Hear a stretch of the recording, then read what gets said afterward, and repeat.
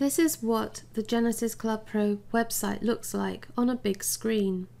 As you can see there's the main menu here and the secondary menu is up there.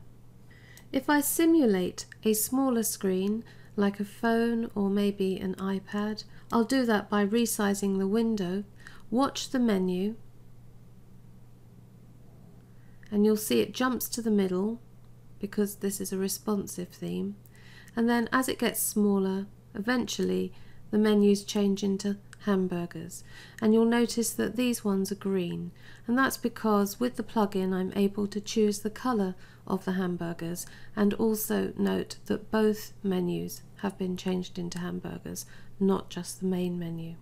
So when you click on it it opens up the menu. That's the secondary menu and that's the primary menu you can choose any colour you like for the hamburger you can specify the size and when I move it back out again, the hamburger automatically appears and disappears.